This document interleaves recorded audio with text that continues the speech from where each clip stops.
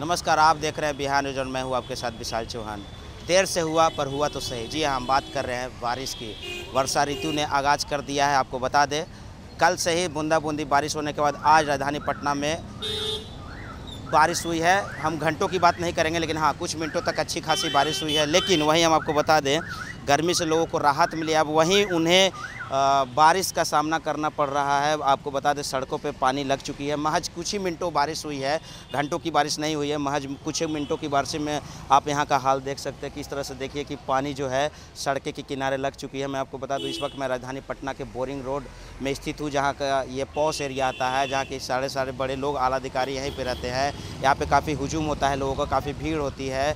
काफ़ी कॉम्प्लेक्सेस यहाँ पे हैं, काफ़ी कॉम्प्लेक्स हैं यहाँ पे, अगर हम बात कर ले यहाँ पे पोटेंशियल एरिया है, यहाँ पे काफ़ी व्यवसाय भी रहते हैं बिजनेसमैन भी रहते हैं, यहाँ पे कोचिंग इंस्टीट्यूट भी है तो ये कह सकते हैं कि ये हृदय स्थल है राजधानी पटना का। उसके बावजूद आप देख सकते हैं कि किस तरह से सड़कों के किनारे बारिश लग चुकी है। महज कुछ ही मिनटों की बारिश में ये हाल हुआ है। तो ये कह सकते हैं कि ये बारिश ने नीतीश कुमार की पोल खोल दी है।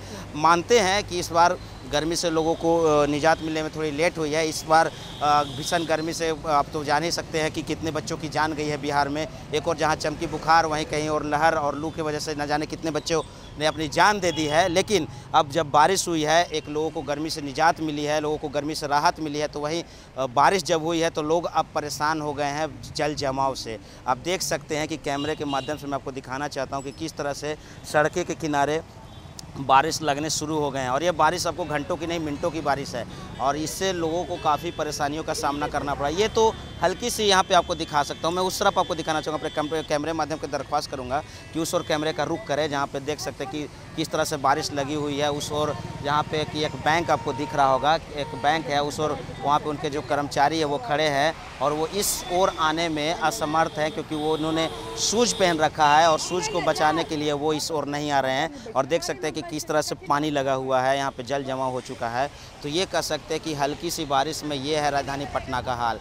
तो अगर अगर मान लीजिए अभी बरसात शुरू हुई है और अगर बारिश होती है घंटों, बारिश होती है दिन भर अगर बारिश होती है तो क्या होगा पटना का हाल? तो हम यहाँ के लोगों से जुड़ते हैं और जानते हैं कि इस बार उन्हें, इस बारिश में क्या कुछ जो दिक्कतों का उन्हें सामना करना पड़ रहा है। माना कि उन्हें गर्मी से राहत मिली, लेकिन अब जब वर्षा ऋतु आ गई है, बारिश ने आगाज़ कर दिया है, बारिश जो है अभी बूंदा बूंदी से शुरुआत है, उनकी बस अभी शुरुआत है वर्षा ऋतु की तो इस बार क्या कुछ उन्हें लगता है कि इस बार अगर बारिश होगी तो कितने दिक्कतों का उन्हें सामना करना पड़ रहा है। एक बार जहाँ कि हमारे जो प्रधानमंत्री, जो भारत के प्रधानमंत्री नरेंद्र मोदी जो एक भारत को, इस बिहार को, इस राजधानी पटना को एक स्मार्ट सिटी का रूप देने वाले हैं, दर्जा दिया है उन्होंने। एक स्मार्टी, स्मार्ट सिटी की परिकल्पना कर रहे हैं हम लोग। तो ये कहाँ तक उचित है कि हल्की सी बारिश में ही सरकार की खुल गई है पोल?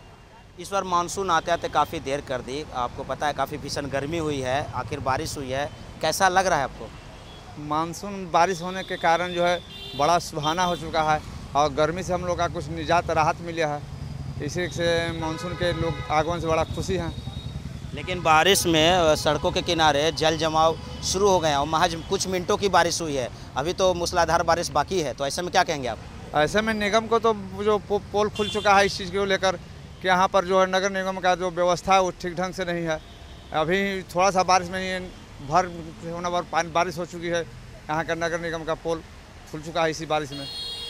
तो एक आम नागरिक होने के नाते आप क्या कुछ संदेशा देना चाहेंगे नगर निगम को और हमारे जो मंत्रीगण है जो हमारे मुखिया है बिहार के उन्हें क्या संदेशा देना चाहेंगे?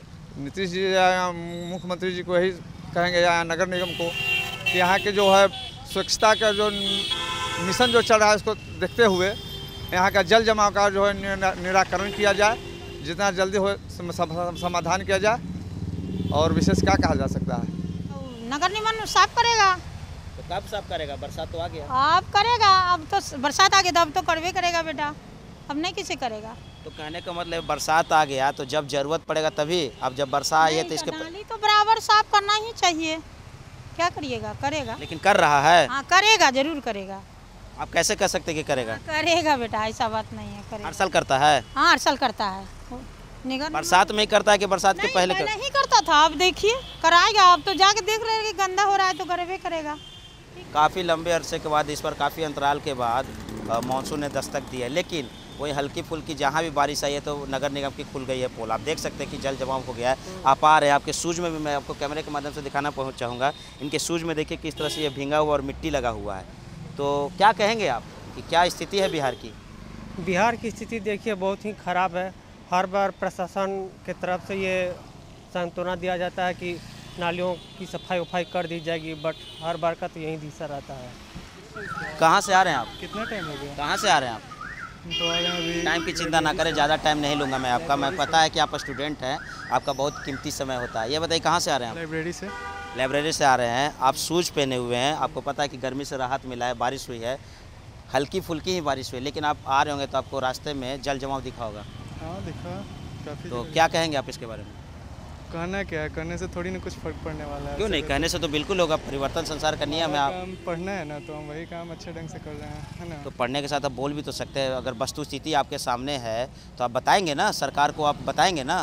क्या फ़र्क पड़ता है? सरकार को बोलने से मेरा एक आवाज़ से थोड़ी ना फ़र्क पड़ेगा है ना? एक एक आवाज़ करके ना सौ आवाज़ होगा हज़ार आवाज़ आएगा लाखों आए एकला चलो एकला चलो नारा आप सुने हैं ना? स्टूडेंट है एकला चलो। एक चलिए आपके पीछे पूरा सारे लोग आएँगे। नारे में ही बेहतर लगता है। कभी आप कोड़ा खोल कर पढ़िए ना तो उसमें आपको पता चलेगा कि देश में काफ़ी कुछ मतलब बदलाव फ़िलहाल हम बारिश की बात करेंगे जल जमाव की बात करेंगे। आप आए रास्ते में तो आपको क्या कुछ स्थितियाँ दिखी? जल जमाव तो काफ़ी जगह था। वो बेली रोड में तो लगभग हर जगह ही था। ये जो बारिश हुई है इसमें जल जमाव हो गया है। तो ये तो एक बहुत बड़ी राहत मिली है। इतना गर्मी के बाद अभी बारिश जो हुई है बहुत राहत हुई है। लेकिन अभी जो रास्ते में जो जल जमाव जो हुआ है पब्लिक को बहुत इससे कठिनाई हो रही है कि कहीं जल की निकास की समुचित व्यवस्था नहीं की गई है। सरकार के द्वारा अभी तक जल की निकास की सम जब कि जल की समुचित निकास नहीं होगा तब तक लोगों का आवागमन जो है वह बाधित हो जाएगा। लोग बहुत तकलीफ़ में परेशानी में पड़े हुए हैं परेशानी पड़ जाते हैं। हर साल बरसात आती है इसी तरह जल जमाव होता है। हाँ हर साल बरसात आती है लेकिन अब इस बार जो देखते हैं अभी का जो है हम परिस्थिति देखते हैं इसमें जल जमाव की बड़ी बड़ी रोडों का तो काफ़ी मैंने विस्तार हुआ है लेकिन साथ में उसका निकास के पानी का जमाव इतनी इतनी बने यहाँ ठौना तक पानी जमा हो गया है जस्ट यहाँ। हल्की बारिश हुई है ज़्यादा बारिश नहीं। बारिश नहीं हुई है इसके बावजूद भी इतने पानी की जमाव है। तो आप सोचिए कि अब आगे मैंने कि अगर अधिक बारिश हो जाती है तो लोग पब्लिक को कितना कठिनाई होगी। तो सरकार को क्या कहना चाहेंगे आप? ना अभी तो पहले पानी के जल के निकास की व्यवस्था की जाए। जल जो बारिश होती है पहले इसके जल की समुचित निकास की व्यवस्था करें नहीं तो अन्यथा फिर बने कि पब्लिक जो है वो काफ़ी आपको परेशानी पड़ जाएगी भीषण गर्मी के बाद हल्का फुल्की बारिश हुई है। ज़्यादा देर की बारिश नहीं हुई है आप आपको ही पता होगा। और ऐसे में आपको जल जमाव दिख रहा है। आप देख सकते हैं कि अभी अभी हवाई चप्पल में घूम रहे हैं और भी लोगों को काफ़ी कठिनाइयों का दिक्कत हो रहा है। जो ऑफ़िस जा रहे हैं स्कूल जा रहे हैं इंस्टीट्यूट जा रहे हैं वो लोगों को जो इतना भी दिक्कतों का सामना करना है ऐसे में आप क्या कहना चाहेंगे? इसमें हम यही कहना चाहेंगे कि नगर निगम नगर नगर निगम वाला को ध्यान देना चाहिए और पानी का निकास करवाना चाहिए। हर बार इसी तरह से वर्षा आती है और इसी तरह से जल जमाव लगता है। और इस बार तो अ, मतलब क्या कहें कि हल्की बारिश हुई है काफ़ी लंबे अंतराल के बाद तो ऐसा क्यों हो रहा है? बहुत नाला सब ब्लॉक है। बहुत लोग काम हुआ है लेकिन रुका हुआ है। इसी कारण ब्लॉक है पानी निकल नहीं रहा है। में और जल जमाव हो गया ऐसे में क्या कहेंगे? अभी तो पूरे सड़क पे पानी लगा हुआ था पैदल चलना भी मुश्किल था। पूरा जूते के अंदर पानी पानी हो गया। अभी तो बहुत मुश्किल स्थिति है अभी। हल्की सी बारिश से क्या कहेंगे अभी तो जैसे नालीकरण वगैरह है इसको जो जाम पड़ा हुआ है उसको खोलना चाहिए जो पानी निकल जाए। और पानी निकलने का साधन नहीं है। पालेंगे ये बताया जाए हल्की सी बारिश हुई और ये हाल है जल जमाव हो गया इसके बारे में क्या कहेंगे? राजधानी पटना का ये हाल है। जी जी बहुत बढ़िया है सर पानी पड़ रहा है तो बहुत बढ़िया है। पानी पड़ रहा है वो अच्छी है लेकिन जल जमाव जो सड़कों के किनारे हो गए इसके बारे में क्या कहेंगे? क्या कहेंगे? हम क्या कह सकते हैं? तो कौन कहेगा? आप नहीं कहेंगे तो कौन कहेंगे? आप शर्मा क्यों रहे हैं? नहीं ऐसा कोई बात नहीं शर्माने की कोई बात नहीं। आखिर सड़के के किनारे पानी आप देख सकते हैं लगा हुआ है और आप ऐसे में कह रहे कि हम क्या कहेंगे तो कौन कहेगा? आप बताइए कुछ। इसका तो निदान होनी चाहिए ना कुछ। तो कैसे निदान होगा? क्या कहेंगे सरकार से आप?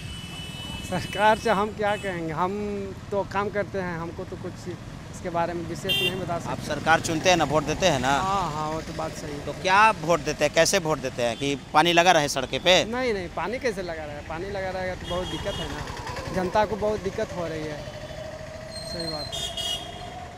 तो आपने देखा कि हमने राजधानी के लोगों से जब बात करने की कोशिश की तो उन्होंने कहा कि यहाँ जल जमाव से उन्हें काफ़ी खासा दिक्कतों का सामना करना पड़ रहा है। उन्होंने सीधे सरकार पर निशाना साध तो ये भी कहा कि नगर निगम की पोल बिल्कुल खुल चुकी है। हल्की सी बारिश में ही जल जमाव हो गई है। और ये हर साल होता है, लेकिन जो नगर निगम है, वो सोई हुई है और जब बरसात का समय आता है, तब वो नाले को साफ़ करती है। मैं आप, अभी मैं जिस पर खड़ा हूँ, मैं आप कैमरे के पीछे मेरे देख सकते हैं, मेरे पीछे आप देख सकते हैं, कैमरे के माध्यम से यहाँ भी जल जमाव है। ये ब्रांच रोड है, यहाँ पर ये मुख्य सड़क के किनारे है, ये छोटी सी ये रोड बनाया गया है, जहाँ पे पीछे आप अपार्टमेंट देख सकते हैं। लेकिन कहने का मतलब ये है कि आखिर जब आप इस सड़क का भी निर्माण सरकार कर रही थी तो इसके नीचे कम से कम नाला तो ज़रूर बनाती है। हम उस और बात करें, मैं अभी बोरिंग कैनाल रोड में स्थित हूँ, जहाँ पर आप देख सकते हैं, उस और भी सड़कें के किनारे जल जमाव हो गया ये हल्की सी बारिश हुई, अगर यही थोड़ी सी और बारिश होगी, अगर बरसात का भी समय है, बारिश तो अभी होना बाकी है, यही अगर थोड़ी और बारिश हो जाएगी तो जो जो पानी है, वो बीच में आ जाती है और पूरे सड़कें जो है, वो झप जाती है और चारों तरफ़ से पानी ही पानी। तो पता नहीं नगर निगम कब जागेगी, बरसात का समय तो आ चुका है। अब नगर निगम को जाग जाना चाहिए। एक और जहाँ स्मार्ट सिटी की परिकल्पना की कर रहे हैं, सरकार के साथ साथ यहाँ के लोग भी तो ऐसे में देखना यह होगा कि आखिर नगर निगम कब जाती है। तो विशेष खबरों के लिए आप देखते रहे और जुड़े रहे बिहार न्यूज़ के साथ।